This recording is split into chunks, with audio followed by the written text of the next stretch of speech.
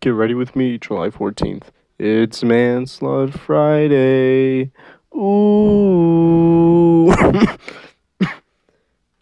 I'm sorry about that. But yeah, no, it's Manslaughter Friday. So yeah, I'm going to be wearing my black lace top from every, every, I don't oh, know, say, I just got it from thrifting. It looks kind of funny on me if I don't wear anything else uh, over top of it.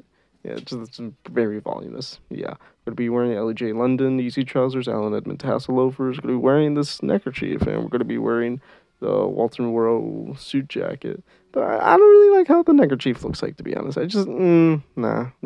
Just gonna wear my what's gonna my scapular over it. So yeah, I'm gonna put the Wayfarers on suit, jacket, pocket, thingy, bajiggy, and yeah, no, that's today's outfit. Hope you guys enjoyed.